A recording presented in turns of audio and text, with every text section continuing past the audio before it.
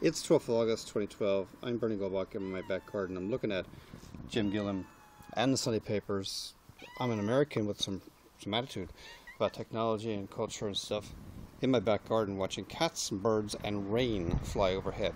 Interesting article in the Financial Times Weekend magazine. Recommend purchasing the FT this weekend for some good read. Valley of Gods, the cover story, talks about what you're going to find in the way of spirituality in Silicon Valley God is not impressed with your status update. He's impressed with what lies beneath the pretense. Chuck DeGroat, pastor of the City Church of San Francisco, writes quite a few people in um, books and magazines I read about startups that are, that are going to Buddhist or evangelical Christian services there in uh, San Jose area. Pretty interesting story. Doubly interesting is rooms with no view beneath the streets of Beijing. China's low-income workers squash into tiny living spaces can you imagine living without um, any kind of external light? Just incandescent or fluorescent lights overhead. This is what happens when you move from the farms to the factories of the large cities. It's not just Beijing, I'm sure it's everywhere else in China. Excellent read. FT magazine, ft.com stroke magazine. Front page Sunday Times is the Golden Girl. Cassius Bray, that's Katie Taylor. The Irish Games equal the best games, Medal Hall. Uh, great story by John Burns about how Ireland stepped up, continues to box above its weight. You know, John Joe Nevin, silver medalist. Story there, the backstory there, Siobhan McGuire writes about it. His family was banned from watching him when, uh, achieve his success in hometown pubs. Uh, he, he's a traveler. There's some uh, rampant prejudice against travelers throughout Ireland. Oops, suffered that.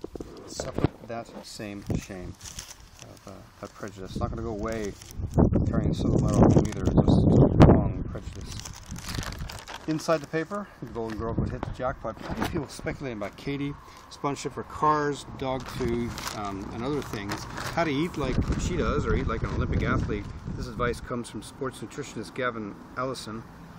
Talking about exercise before breakfast, or eat more vegetables, eat butter instead of margarine, eat four meals a day.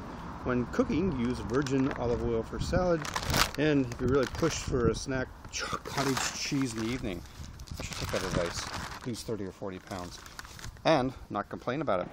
That's what people are doing in TripAdvisor. Chefs dish out revenge to TripAdvisor critics, writes Karina Hardgrave. Simple story, one that's warmed over perhaps, but pretty easy to find people that I, whose meals I eat and whose places I stay in, you know, ranting back. Paul Treyvaud, restaurant chef in Killarney, became involved in May when a customer posted on TripAdvisor that he dined in his restaurant four times, disappointed each occasion. The chef responded, the customer must have the memory of a goldfish to keep coming back. Uh, several restaurants are making themselves known on social media for the wrong reasons. Herbstreet's one of them, saying something about the uh, silver medal winning boxer that went, caught them into deep shit. U.S. corn bites the dust and drought. Crop failure in the Midwest of the U.S. going to lead to record-breaking prices per bushel. Danny Fortson has a story. Half of the world's corn exports are going to be wiped out by America's worst drought. It's going to affect me and my cornflakes in the morning. What else is happening? The retail sector is feeling the heat. Damien Kiberd has the Irish Outlook column in the business section of the Sunday Times. He says that when you look at Vision.net, credible provider of company information, they saw that 9,428 Irish firms. Half of them are on the brink of failure. They can't get credit, cash flow disappearing, debtors are nearly impossible to collect from. The rot has set in deepest in retailing, hospitality, anything to do with bricks and mortar. He says the consumers must be drawn out of the cave. Don't expect that to happen based on government budgets. RTE2 and 2FM are going to be left in the blocks. Mark Paul, Brian Carey think most of the article they write in the Sunday Times is actually based on interviews they've had with Eugene Murray former uh, RTE director. I like him. The problem, Eugene says, too many managers in RTE. But look, this is a bigger problem. And take it from Sunday Times Magazine. Kids want to listen or they want to see something. They're going to go to YouTube, not or not Radio One, or in this case, not 2FM maybe. It's pretty much true that the demographic has shifted. The young demographic, translated into the advertising market, is somewhere else and not in front of screens and maybe not listening to the radio doesn't actually uh, track with uh, where I see a third level because a lot of people can always mention what they've seen or listened to rather in local radio. Walsh's name is top in the ring for boxing jobs.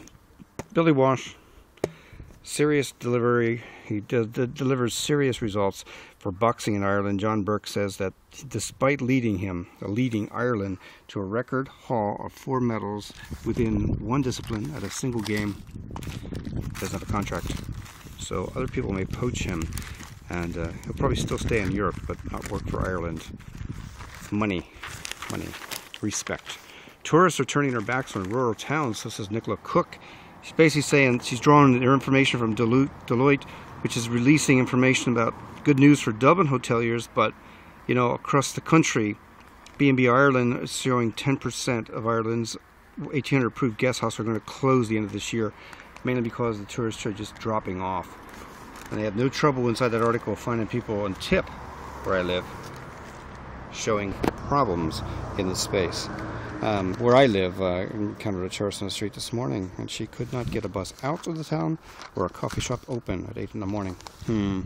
How Ireland beat the world. Another story about a story of Katie Barnes and the boxers. John Burke writes about high performance clubs, and he's basically down to the conclusion many people are making, which is you've got to start coaching coaches, getting high performance attitude to clubs, and of course, taking care of the small clubs would help as well with grants and incentives. Two page on Animation Nation, Bucking the Trend, a news focus article by Michelle Divan points out the, the leading lights in Irish animation. Pretty much um, a big story on Brown Bag, Brown Bag Media.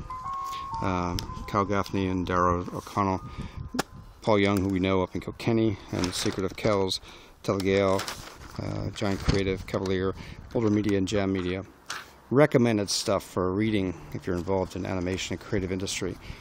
If you're involved in maybe going digital for your books, Adrian Weckler has some basic FAQ answers to how they work, uh, iStream, uh, books you can download, uh, updates to the books. Good read, especially for somebody considering implementing ebooks in the curriculum. Finally, me. What am I going to consider? Emma Smith has a picture of a piece of kit. Uh, CroozerDesigns.com points uh, points to how to use this lovely little bicycle, the Croozer Kid for Two. Um, it's engineered in Germany, costs 375 uh, sterling, 475 euro, well put together. And I know from personal experience, kids like these things in the back of bikes. Wear your helmets though, mom and dad, if you're going to buy such a thing. Um, checking out the bees in my back garden. Peter Donegan, if you're listening or watching on the side show, look how big my balloons are. Aren't they special? You can see more of these things. Flickr.com stroke Irish Eyes. And check out, uh, check me out on Twitter at topgold if you're interested as well. I'm Bernie Goldbach.